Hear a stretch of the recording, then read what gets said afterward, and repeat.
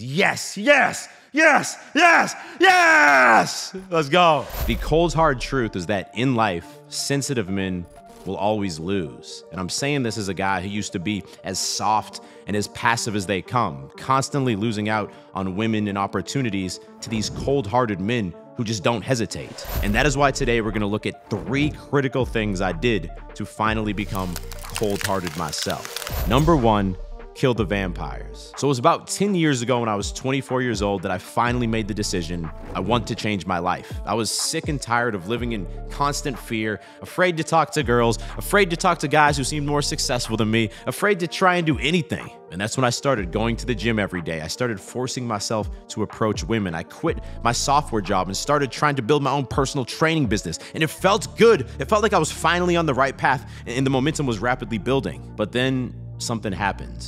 I was at an old family reunion with my extended family, and I was talking to some of my cousins and aunts and uncles. And there was this dynamic that was established back when I was this afraid, passive boy that, that was still in place when I was talking to these people. You know what I'm talking about? Just this kind of not condescending, but this almost like I feel bad for you tone that, that they would talk to me with. Like, oh, little David, we see you still don't have a girlfriend yet, huh? And that made me question myself and be like, fuck, man.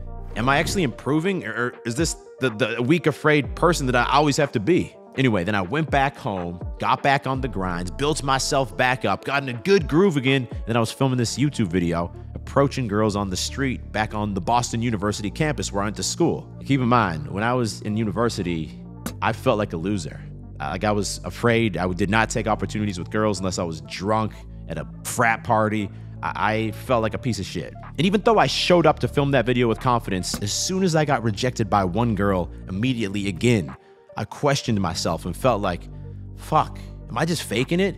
Maybe that is who I'm meant to be. Maybe that is all I'll ever be. So, if you're on this journey right now trying to change your life, you have to be aware of the energy vampires, these environments or these people from your past who still see you as the weak little boy. And when you're in the critical stages of growth, your first two or three years on this journey, avoid those things at all costs. I don't care if you have to skip your next Thanksgiving or Christmas holiday with your family. If your aunts and uncles or these people who are there are gonna make you feel like a piece of shit, why do it? Is it really worth risking all the momentum you've built up? Just because your old buddies ask you to go out and get drunk or come over and get high and play video games, say no. Those are energy vampires, bro. They're not trying to do you bad, but objectively, they're going to be bad for you. When you're fighting for that fucking momentum, you have to protect it at all costs. Now, something else that every man should be protecting at all costs is making sure that he, that he stays looking sexy at all times, especially with Valentine's Day around the corner, which is why I decided to partner with Manscaped to be the sponsor of today's video. It all starts with the Lawnmower 5.0. I use this twice per week to trim the hair on my chest and abs because if you're like me and you're putting in work in the gym, but you still have a bunch of hairs, it's gonna cover up your gains. And this guy right here, take a look. I left a few untrimmed hairs here on my, on my chest to show you.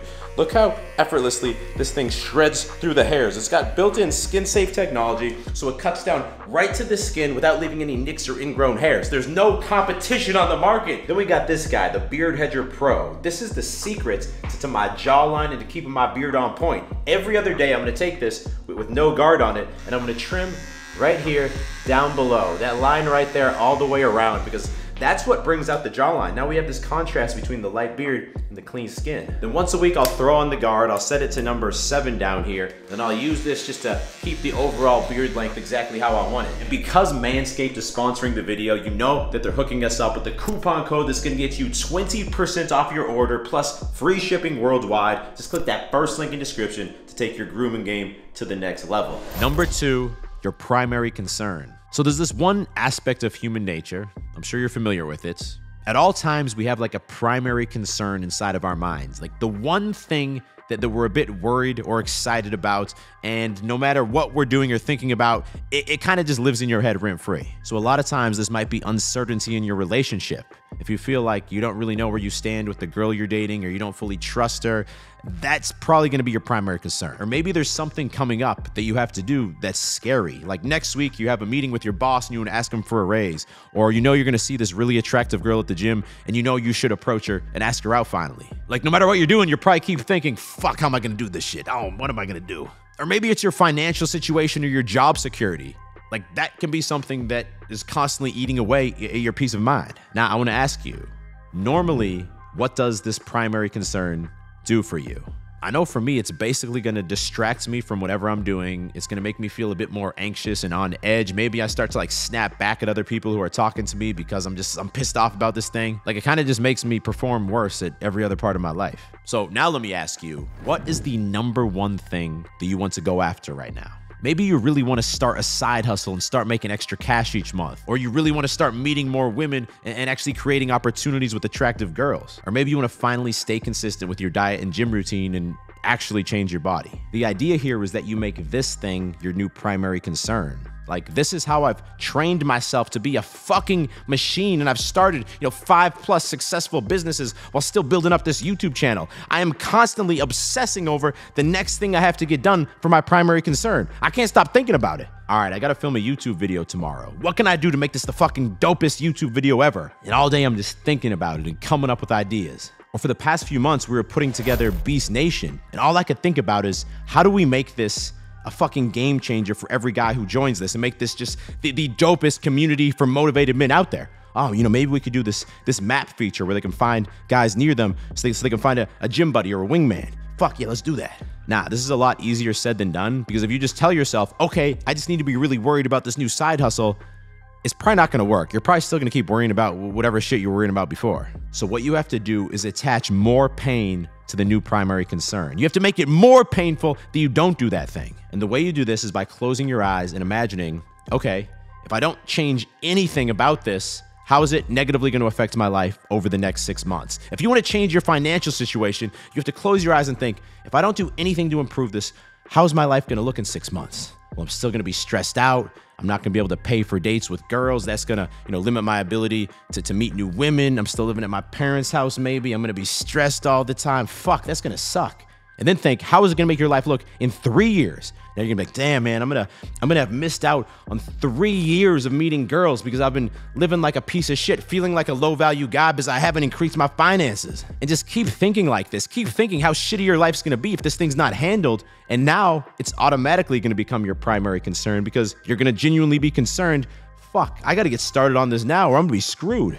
Now, something that all of us need to be concerned about at this very moment is the new Edge collection that drops on Thursday. That's right, we're finally dropping the new corduroy jacket. This is a perfect top layer that adds that extra bit of masculine style to any outfit. The essential tee, just the best fitting casual t-shirt out there is coming back in stock. Our active chinos, which are straight up the best stylish pants out there for men, are coming out in a new olive green colorway that is just sick. And the enhanced mesh tank top is finally back, just the sickest gym tank that makes you look like a beast. All of that that and more is dropping on Thursday. You can click the second link down in description to get early access and shop the new collection before everyone else so nothing sells out on you. Number three, do what makes you happy and tell no one. So right now, I imagine that you're grinding hard. You're grinding in the gym, you're grinding your money, you're grinding in your dating life. And as you experience wins, it's gonna be natural to want to share these things with other people, to share your progress. Like, damn, bro, I can see my six pack now. Everybody's got to know about this. I started my own business. I'm actually making money for myself.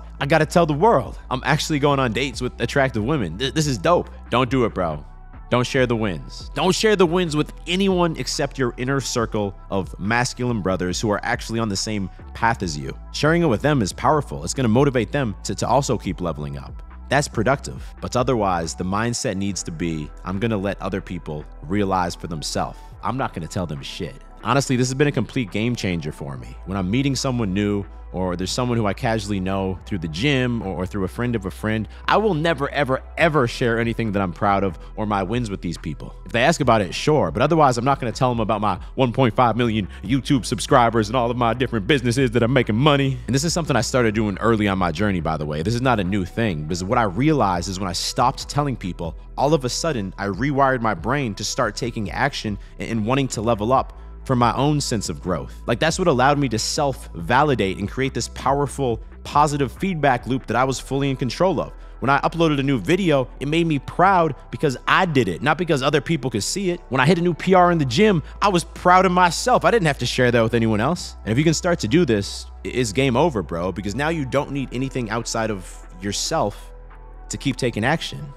And you're on the path. You're gonna win now. Plus, when you tell other people about your plans or all these things that you got going on, guess what happens? You get this little dopamine hit because you tell them something you're proud of. And in your head, you're like, they know I'm a winner now. And then you get this little dopamine hit. And now you're actually less motivated to keep putting in work and making things happen because you're already reaping the rewards. And you're also training yourself to level up for validation from other people. From now on, you keep your wins to yourself. That's for you to know and for them to find out. Now, right now, if you are working to level up your finances, then you need to watch this video next. It is about five things poor men do that rich men do not. Click there to watch that now and find out the five things. If you're new to the channel, click down there to subscribe because I release two new videos every single week and you don't want to miss them. I'll talk to you in the next video. Stay beastly.